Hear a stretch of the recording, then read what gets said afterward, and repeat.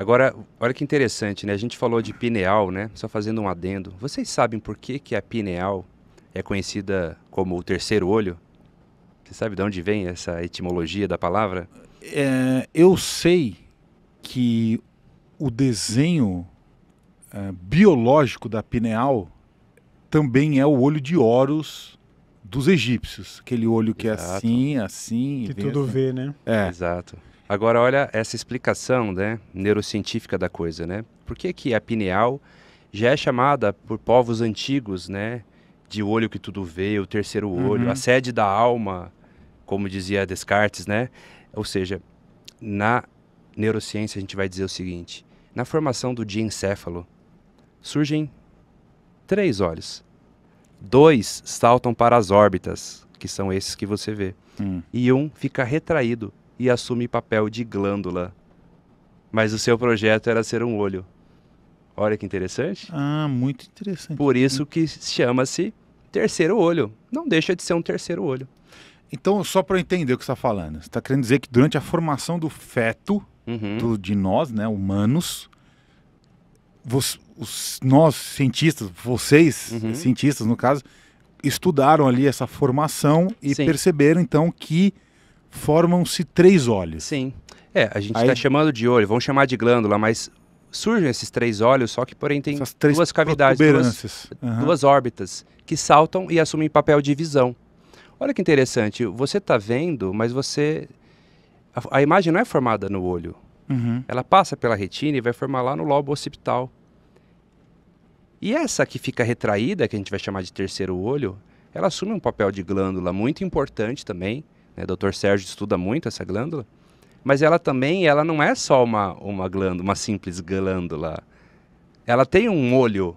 Quando uma pessoa tem uma clarividência, um olhar espiritual, ela não vê necessariamente com esse olho. Ela não ouve uma voz com esse ouvido. É dentro da cabeça.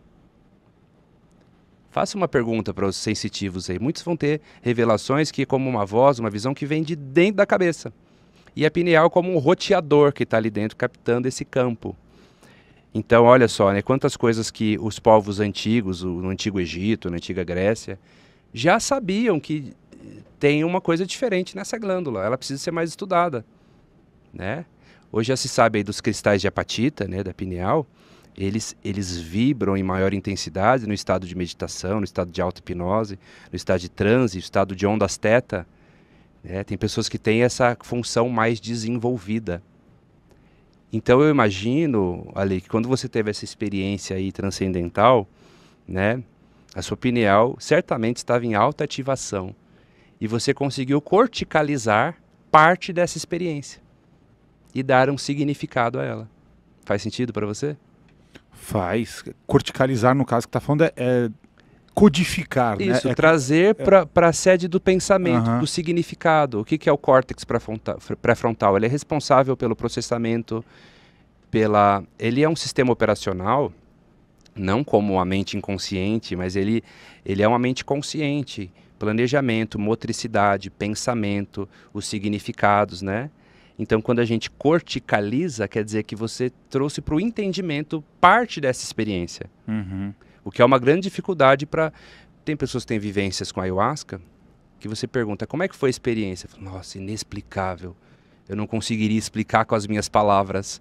Ela não consegue corticalizar a experiência de tão profunda que foi. Ficam sedimentos apenas, Uhum. né? Porque as palavras não conseguiriam dar vida, dar luz, dar significado, dar um significado maior de tão transcendental que ela foi. Muito bom. O pessoal aqui do, do chat entrou em êxtase com a explicação do Muito bom. terceiro olho. É o olho que tudo vê. É, É, ele, literalmente. ele vê o magnetismo. Então, às vezes, você pode estar até com o olho fechado e sentir algumas Sentindo. coisas que o Dr. Sérgio explica bem. e vai ter isso. outra relação aí. Posso aprofundar um pouco mais? Claro. Por favor. Existe um outro estudo do Instituto do Coração e de Matemática do Coração é, que se chama o Heart and Brain Coherence, que é a coerência cérebro-coração. Aí já é um outro estudo, Uhum. né? Que vai mostrar que quando estamos em coerência cérebro-coração, e a pineal se envolve muito nisso, existem muitas conexões entre os órgãos, há uma série de benefícios para o corpo humano em nível celular, porque o coração não é só um órgão que bombeia sangue, não é mesmo? Ele gera impulsos sanguíneos, mas também eletromagnéticos, né? A energia eletromagnética do coração é muito maior que a do cérebro. Por isso, quando a gente visualiza alguma coisa, tem que sentir. Se você não sentir, foi só uma imagem projetada na mente. Quando você visualiza e você sente com o coração, isso gera impulsos magnéticos muito fortes. Da mesma maneira, quando não estamos em coerência cérebro-coração, há uma arritmia aí, há uma, um descompasso, há uma série de prejuízos, né? de questões deletérias à saúde. Então, por exemplo, Joe Dispenza, o Greg Braden, eles falam muito dessas meditações em, em que você coloca uma coerência entre o cérebro e o coração, estando em uníssono. O que é uníssono? Quando duas notas tocam em uníssono, na mesma vibração, na mesma sintonia. A mente quer uma coisa, o coração quer outra. E o estado que eles falam para você acessar isso é o que eles chamam de ponto zero. Que a gente pode fazer isso com auto-hipnose também. Porque a auto-hipnose, o que ela vai promover? Ela vai diminuir a neurovascularização do córtex pré-frontal, que muito pensa, e vai trazer essa irrigação sanguínea para o lobo límbico, o lobo emocional, e vai conectar com o coração. Coração, pineal, lobo límbico trabalhando. Quando eu vou para esse ponto zero, o ponto zero, gente, é um estado de não saber. É um estado onde eu deixo o meu, meu ego de fora um pouco, meu interesse próprio de lado, e eu apenas sou. Eu apenas existo. Grandes meditadores, yogis, buscam esse estado. Quando eu chego nesse estado de ponto zero, que é no meio de lugar nenhum, e eu tenho uma intenção de coração pura no meu coração, em comunhão com o que eu quero com a minha mente, isso gera um impulso eletromagnético muito poderoso e gera saúde para o corpo físico, para as células e para os órgãos. Olha como está tudo conectado, gente o corpo humano, a mente humana, o coração, o intestino, que é um segundo cérebro, cérebro entérico. Uhum. É muito importante a gente praticar meditação, auto-hipnose, técnicas de reprogramação mental, não só por autoconhecimento, mas por saúde mesmo. Saúde neuronal, saúde física, saúde celular. Você pode estar nos ouvindo aqui falando, não acredito em nada de espiritual. Tudo bem, continue praticando, continue meditando, você vai ter benefícios da mesma forma.